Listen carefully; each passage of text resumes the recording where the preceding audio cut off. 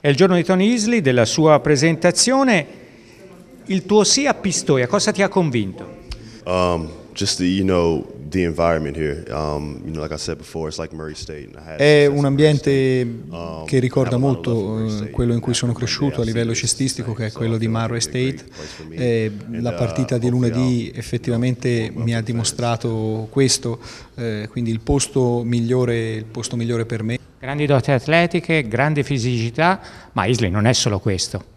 Um, a great smile. Um, no, um, eh, la caratteristica principale forse è il grande sorriso, no? a, parte, a, parte, le battute, eh, la passione e quella, quella, ce la metto sempre e comunque contro ogni tipo di avversario e forse anche la dote che i compagni solitamente mi riconoscono di più. Penso di essere eh, fondamentalmente, oltre il giocatore di basket, una, una persona positiva all'interno del gruppo e questo credo che debba essere il mio ruolo.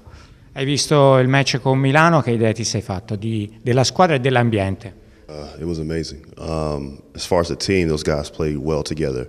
Um, Tutto quanto è stato, è stato eccezionale dal, ehm, dall'atmosfera creata dai tifosi prima, durante la partita, eh, al fatto che la squadra, nonostante la sconfitta, sia uscita fra gli applausi del pubblico, così come è stato eh, effettivamente bello vedere come è stato accolto Ed Daniel al, al suo ritorno qui, qui, a Pistoia. E poi ovviamente sul campo si è visto eh, una squadra che mh, lotta, che lotta duramente, che gioca insieme, dove eh, tutti i giocatori mh, giocano uno per l'altro e non ci si preoccupa di chi è che segna di più e questo sicuramente per il mio modo di vedere il basket è un qualcosa di estremamente positivo.